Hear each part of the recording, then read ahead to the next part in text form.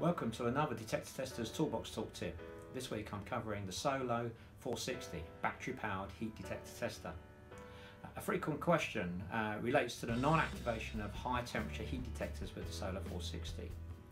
Solo 460 has a maximum heat output of 90 degrees centigrade, that's 194 degrees Fahrenheit at room temperature. This means you will not be able to test detectors that have a higher activation temperature, such as the Apollo CSCR range or similar high temperature detectors from other manufacturers.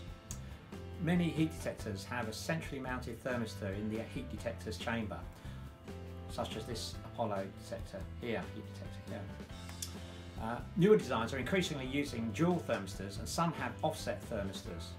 As the Solo 460 uses a pencil thin beam of hot air across the test cup uh, a top tip is to rotate the 460 when you're actually testing the heat detector.